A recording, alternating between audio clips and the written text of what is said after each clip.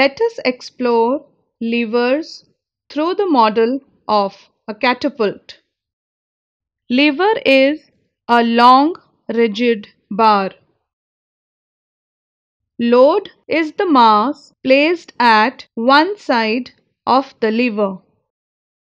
Holder is a part of the lever where the load is kept. Pivot is the point where the lever is attached. Now let us understand the working principle of the model.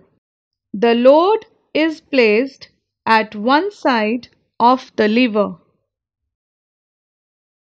When we put the effort on the other side of the lever, the load is thrown far away. If we move the pivot point towards the holder, the distance covered by the load is more for the same amount of effort applied. Now let us answer a question. For which position of the pivot point we need to apply the maximum amount of effort?